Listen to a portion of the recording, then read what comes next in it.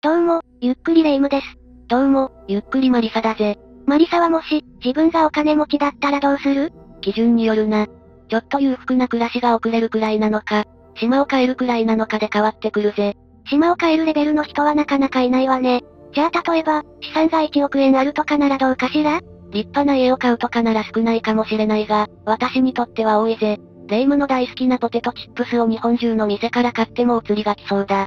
確かに、ポテトチップスに埋もれる生活も悪くないわね。だが、資産を持っていると犯罪の被害に遭うのが心配だぜ。セキュリティとか、何か対策しておかないとちょっと怖いよな。私もそう思って質問したのよ。資産家が狙われたある事件を知って、自分が資産家になった時をシミュレーションしていたの。霊夢が資産家になることはないと思うぜ。だが、その資産家の事件とは、どんなものだったんだ？高額な保険金をかけられた資産家が狙われた事件よ。興味深いな。教えてくれ。じゃあ今回は、2021年に発生した、高槻市資産家殺人事件を紹介するわ。それじゃあ、ゆっくりしていってね。まずは事件の概要から説明するわね。これは東京オリンピックが開催された、2021年7月に大阪府高槻市で起きた事件よ。被害者は高槻市に暮らす資産家で、当時54歳の高井直子さんだったわ。直子さんは連休明けの月曜日に会社を無断欠勤していて、様子を見に来た親族によって遺体が発見されたの。世間が賑わっている間に、こんな悲惨な事件が起きていたんだな。直子さんは自宅で亡くなっていたということなのか？直子さんは自宅の浴槽で発見されたのよ。死亡推定日は、東京オリンピックの開会式があった7月23日だったわ。真夏の浴槽に、4日間も放置された状態だったことになるわね。真夏というところが恐ろしいな。浴槽に水が溜まっていたとしたら、かなり腐敗が進んでいそうだ。その通りよ。おかげで通常よりも、解剖や検査に時間がかかることになったの。遺族も発見した時、相当ショックだっただろうな。直子さんはどんな人物だったんだ？直子さんは、銀行のグループ会社で事務員として働いていたの。近隣住民によると、しっかりした良い人だったそうよ。その一方で両親から引き継いだ巨額な遺産があり、資産家でもあったの。けれど暮らしぶりは質素で、決して派手なタイプではなかったみたいよ。そんな真面目でつつましく暮らしていた人が、被害に遭うなんてな。ところで4日間も浴槽にいたら、家族が気づくはずだろ？直子さんは一人暮らしだったのか？直子さんは独身で子供も兄弟もおらず、唯一の肉親である母親は高齢で認知症の疑いがあったの。しかも世間は4連休で、東京オリンピックで賑わっていたわ。そんな状況だから、数日連絡が取れなくても、誰も不審には思わないかもしれないわね。確かに連休中だと、外出していて連絡がつかないこともあるよな。警察はすぐに殺人の線で捜査に当たったのか？当初は事故や病死の線も捨てきれなかったわ。実は直子さんは大のお酒好きで、部屋にはお酒の空き缶が残っていたのよ。じゃあ、酒に酔った末の事故死という可能性もあったんだな。ええさっきも言った通り検査にも時間がかかったからなおさらね。でも2022年の2月21日に、状況が変わり出したのよ。何か進展があったのか？子さんの部屋にはお酒の空き缶があったと言ったわよね。これは誰が飲んだものだと思う？一人暮らしで肉親は認知症の疑いがある母親だけなら、直子さんが晩酌をしていたんじゃないか？そうよね。でも不思議なことに、直子さんの体内からはアルコールが検出されなかったのよ。一体どういうことだ？しかも直子さんの手足には、結束バンドが残っていたわ。さらに死因は事故死や病死ではなく、溺死だと判明したのよ。このことから、殺人の線で捜査が開始されたわ。それじゃあ犯人が飲んだ可能性もあるな。しかし酒によって殺人を犯すもんなのか？偽装工作の可能性が高いと思われていたわ。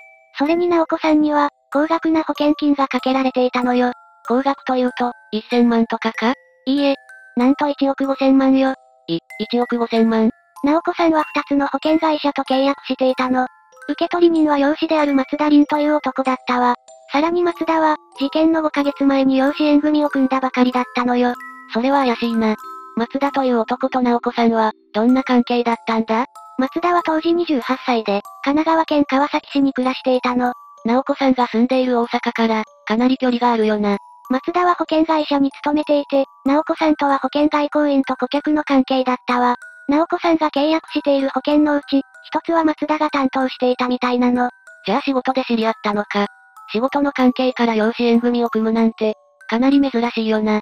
直子さんはどうして養子縁組を組むことにしたんだろうか。そこでも不可解な点があるわ。松田は2020年に結婚しているんだけど、養子になるためには配偶者の同意が必要なの。でも松田は妻になりすまして届け出を提出していたのよ。実際に妻や父は養子縁組の書類について、自分たちは書いていないと証言しているわ。ということは、直子さんが記載する部分も偽造していたのか？それが、筆跡鑑定で妻の偽造は判明したけど、直子さんの方は本人のものだったのよ。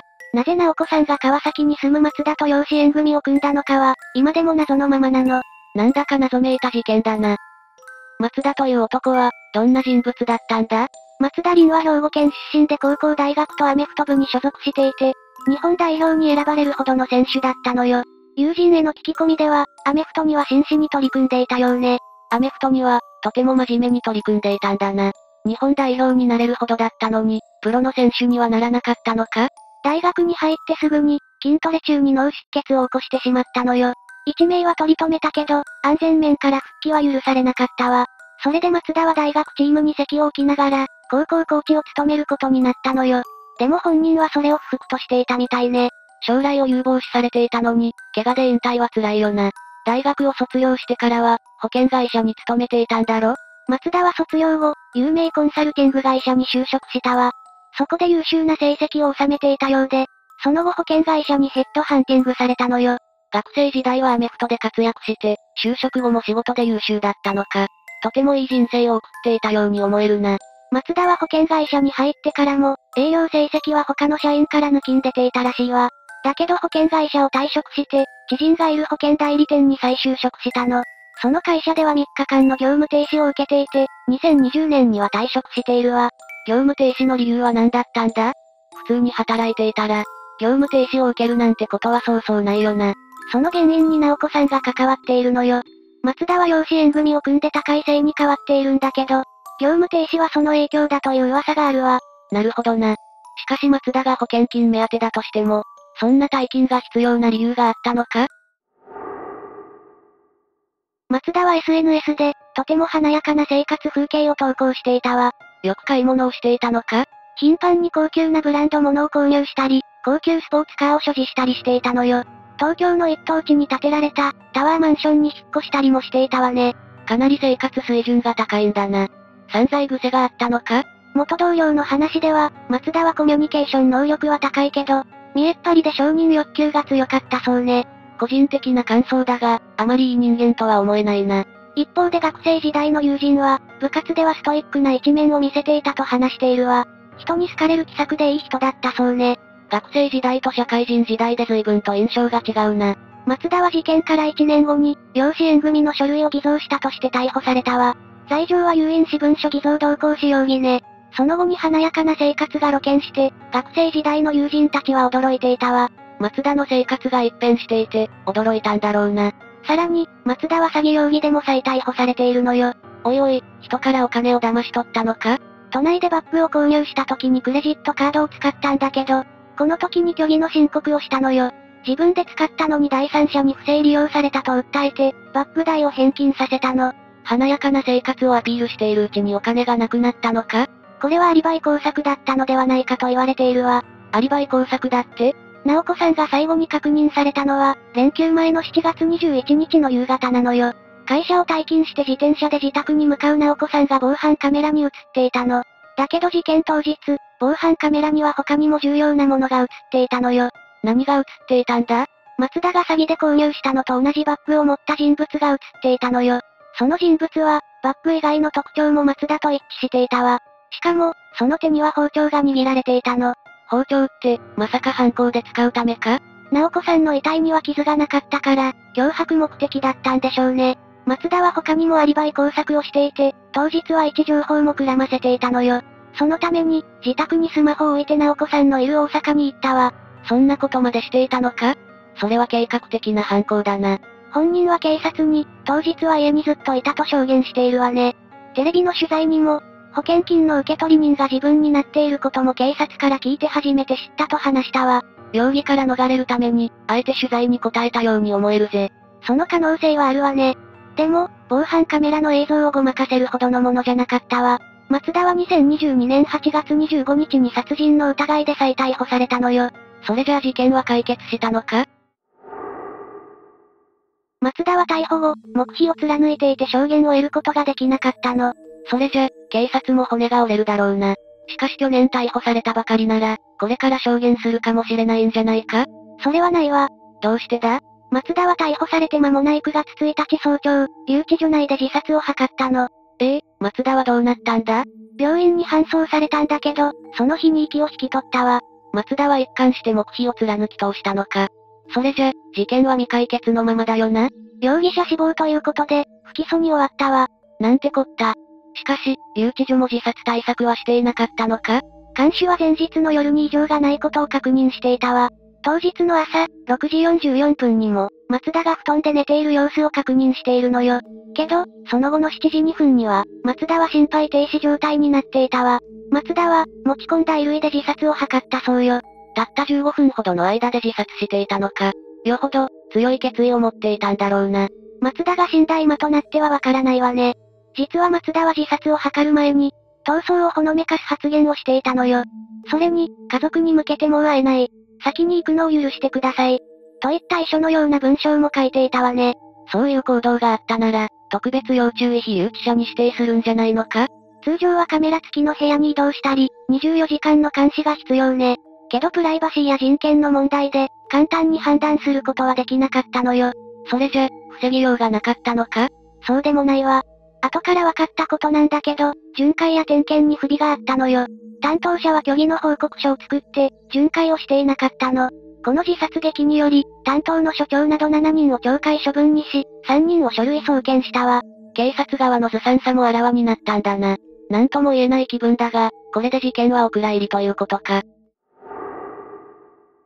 それじゃあ今回の事件をまとめるわね。頼むぜ。事件が起きたのはオリンピックがあった2021年よ。大阪府高槻市に暮らす、高井直子さんが、自宅の浴槽で亡くなっているのを親族が発見したわ。親族は連休明けの7月26日に様子を見に来たんだったな。直子さんが会社を無断欠勤していたことを心配したんだよな。ええオリンピックの開会式に合わせた4連休が明けた日のことだったわ。この事件はその4連休中に起こったのよ。死亡推定日は、東京オリンピックの開会式があった7月23日ね。つまり真夏の浴槽に、4日間も放置されていたんだよな。本当にひどいことをするぜ。そのせいで腐敗が通常よりも進んでいて、検査や解剖に時間を要したわ。おかげで捜査は難航したようね。それじゃ、容疑者候補を探すのも大変だっただろうな。直子さんは銀行のグループ会社で事務員として働き、人柄も良かったと言われていたわね。その一方で両親から引き継いだ巨額な遺産があり、資産家でもあったのよ。けれど暮らしぶりは質素で、決して派手なタイプではなかったわ。確か当初は、事故の線も疑っていたんだよな。直子さんはお酒好きで、部屋から空き缶も見つかっていて、事故や病気の可能性も見られたわね。でも、直子さんの体内からアルコールは検出されず、死因も溺死だったのよ。しかも手足には結束バンドが残っていたから、殺人の線で捜査が始まったわ。しかし殺人の線に切り替えてから、容疑者が浮上するのが早かったな。松田があまりにも怪しかったのが理由ね。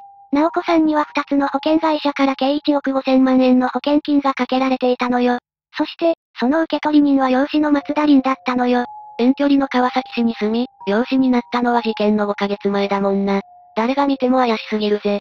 松田と直子さんは、保険の外交員と顧客の関係だったわ。直子さんの契約する保険の一つは、その時に松田が担当していたのよ。確か松田は、養子縁組を組む際に妻の同意を偽装して、2022年に逮捕されているよな？でも筆跡鑑定で、直子さんの方は偽装されていなかったことが分かったわ。直子さんは同意の上だったと考えられるのよ。それがまた不思議なのよね。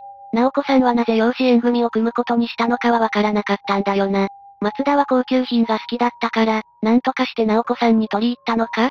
だが、学生時代はまた違った顔を見せていたんだよな。ええ松田は高校時代はアメフト部で活躍していたのよ。クォーターバックというチームの司令塔となるポジションで活躍していたわ。一時期は日本代表選手にも選ばれた逸材だったわね。友人からも、部活にストイックに取り組む良い奴として見られていたんだよな。ええでも、社会人になってからは人が変わったのよ。高級車にタワーマンションにブランド物だもんな。学生時代の姿を知っている人からしたら衝撃だぜ。しかも、松田には妻もいたのに、別の女性と親密にしていたのよ。絵に描いたような最低な男になっているな。だが、そんな暮らしぶりが長く続くわけもないぜ。ええそのためか、松田は詐欺を行っていたわ。バッグを購入した際に、クレジットカード払いを自分でしたのに、不正利用されたと嘘の申告をしたの。でも、これすら直子さんの事件のためのアリバイだったのよ。用意周到すぎて、驚いたぜ。松田は当初、事件当日は自宅にいたと証言していたわ。アリバイ工作のために、スマホを自宅に置いて大阪に行ったなんて、なかなかの行動力よね。でも、詐欺を働いた時に手に入れたバッグを持った男が、防犯カメラに映っていたのよ。しかも、その男の特徴は松田と一致していたわ。しかも片手には直子さんを脅すためと思われる、包丁を持っていたんだよな。